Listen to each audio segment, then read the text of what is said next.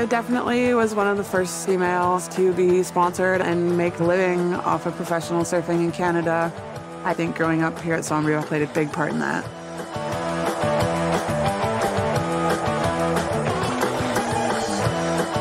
Hi, everyone. First of all, fantastic films. I really loved the surf uh, theme block for this festival. Um, so, Tara is Tara Tara. How do you how do you pronounce it? My parents call me Tara. Tara sounds very regal, but it's Tara. So I see that you have a lot of previous experience producing content for various media companies. Um, what has your personal creative journey been like, and how did it lead to creating such a gorgeous film about surf? My background was mostly in documentary television. So in the early aughts. It was um, reality television was maybe one of the beginning starting uh, of my career, and then luckily I got to move into documentary.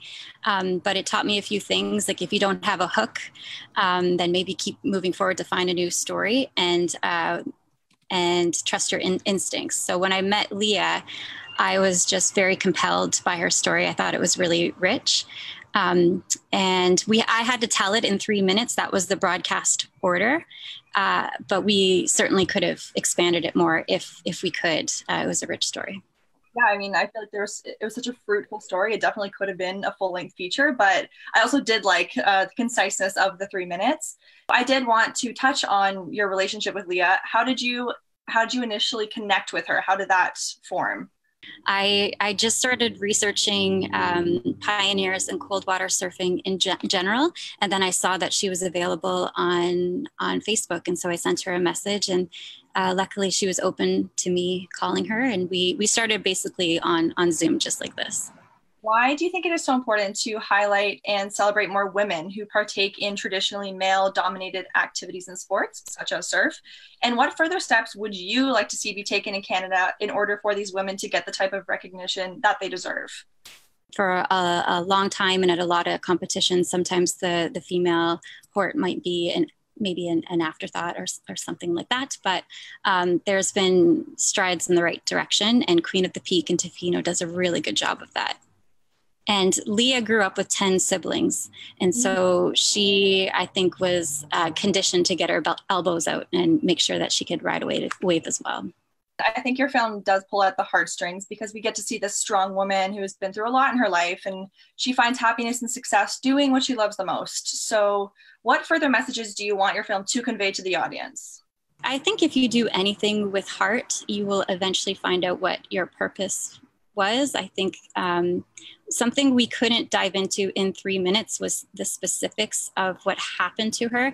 You know, it was only three days later after her first sibling passed away that she competed, and she ended up doing well. And I and she says that knowing. Um, knowing that her her sibling was rooting for her um, helped her. So I think that if you have um, a drive in life, sometimes the bad things that happen can really fuel you or move you forward the settings that you and your crew, um, I guess, got to shoot at, uh, they looked stunning. And I've, I've never been out west. I've always wanted to go out west. And this made me want to go even more. so, what was filming the project like? The entire experience of it, getting to shoot those beautiful scenery. Images? Yeah, it was it was wild. So I grew up in Milton, just an oh. hour west of Toronto, and then I moved out west maybe ten years ago. Um, and when I moved to the island, this this uh, project was a great excuse to explore um, the west coast of the island, which is truly rugged. A lot of people are starting to know Tofino, but Sombrio Beach is maybe um, I'll call it like the the poor man's Tofino. It's not as developed, but it's just as raw and beautiful. It's also very remote. Like I could not find hotel rooms for my crew, and luckily they're the type of people who like this type of filming, and so they were down to sleep on the beach and in their cars. Our, our DOP had to sleep in his truck so that he could upload the media, clear the files, and start the next day. I shared a, a, photo on Instagram of me reheating the chili that my husband had made for our crew the night prior. I mean, it was it wasn't um, the, the most glamorous of shoots, but it it was awesome. Leah was so lucky uh, to spend her first 13 years of her life there. You know, she says very clearly in the film that she was a squatter. They were always waiting for someone to come and knock on their door, and eventually that day came. But you can see why the community wanted to be there. It's it's a magical place. So, kind of what you just touched on, your film does a great job of depicting the connection between the people and the land around them. So you do that through the dialogue and the footage. And I want to know if that was consciously done. Um, and if so, uh, why is it nice to reflect on your personal and communal roots every now and again? I'm forever inspired by my surroundings, specifically on Vancouver Island. Um, if I'm having a bad day, if I go to the forest or the ocean, I feel infinitely better. I knew that when we cut back to some of the archival film that we wanted to do it as a projector onto the ocean wave. And so um, the underwater photographer, Jeremy Koreski, he, he was awesome. He went out into the water and, and got all these subsurface shots so that we had options in the edit room. We're wondering what came first wanting to shoot a film about your surfer, Leah, or wanting to shoot a great surf film? I, I knew I had to come up with a surf story. And so I, I started very broadly researching um, some of the pioneers in cold water surfing on the west coast of Canada. Uh, but then when I, I met Leah, I knew that this was the, the type of story that I wanted to help share.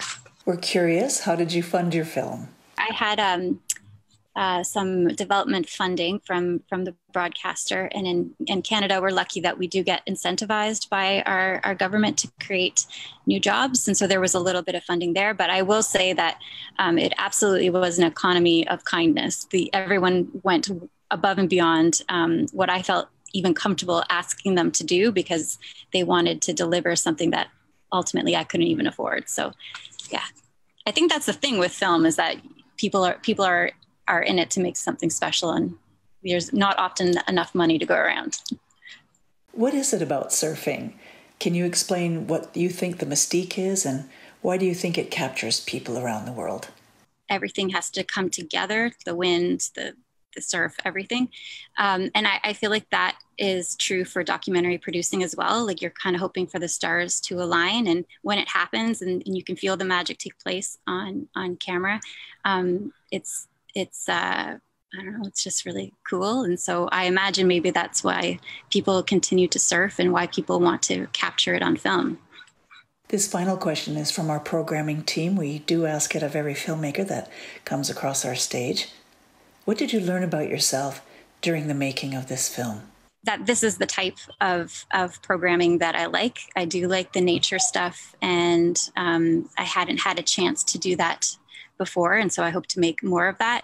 We often, uh, as as female producers, sometimes are want to be nice, but sometimes you just have to be very clear about what you want, and then when you're sitting in the edit booth, be like that that was the right choice.